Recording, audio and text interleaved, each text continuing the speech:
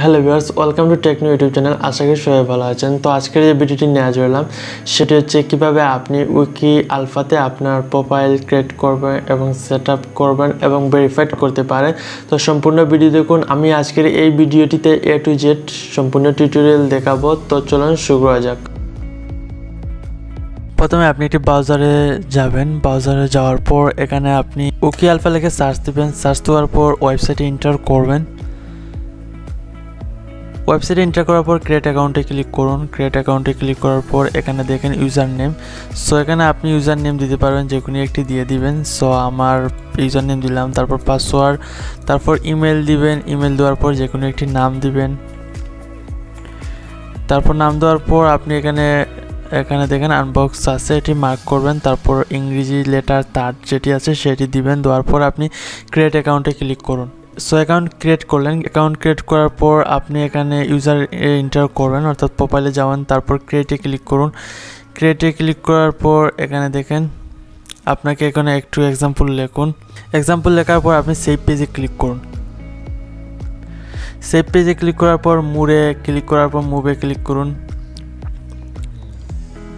মুভে click করার পর এখানে আপনার মেইন দিবেন। মেইন দেওয়ার পর আপনি কি নামে পেজটি খুলবেন, অর্থাৎ কি নামে আপনার উকি আলফা দরকার। সো আমি দিব টেকনু টেকনু দেওয়ার পর এখানে মুভ পেজে ক্লিক করুন। মুভ পেজে ক্লিক করার পর এখানে টেকনুতে ক্লিক করুন। টেকনুতে ক্লিক করার পর আপনার ইউকে আলফার যে ইউজার নেম এখানে সেট আপ হয়ে গেছে। সো এখন আপনাকে এডিট করতে হবে। এডিটে ক্লিক করুন। এডিটে ক্লিক করার পর এখানে আপনার ইন্টার হলো, তারপর আমার পেজে যাব। আমার নামে যে পেজটি রয়েছে এমডি নুমান আহমেদ সো সেই পেজে ইন্টার করব। ইন্টার করার পর এখানে দেখেন ইডিট অপশন রয়েছে। ইডিটে ক্লিক করুন, তারপর এখানে সম্পূর্ণ কপি করুন কোডটি কপি করার পর এখানে আপনার সম্পূর্ণ কোডটি দিবেন, দেওয়ার পর আপনি পেজটে ক্লিক করুন। অর্থাৎ সেভে পেজে ক্লিক করুন। সেভ পেজে ক্লিক করার পর আপনার পেজটি ক্রিয়েট হয়ে গেল। সো এখন আপনাকে এডিট করুন। এডিট করার পর আপনি আপনার সব কিছু সাজাতে পারেন। যেমন এখানে আপনার নাম দিবেন টেকনো আপনার যেই নামটি থাকবে, সেই নামটি দিবেন, এইরকম আপনি সাজাবেন, সম্পূর্ণ এডিট করতে পারবেন। তারপর সেভ পেজে ক্লিক করুন, দেখেন নামটা চেঞ্জ হয়ে গেছে। সো এইভাবে আপনি চেঞ্জ করতে পারবেন। তারপর আপনি কীভাবে ফটো চেঞ্জ করতে পারেন?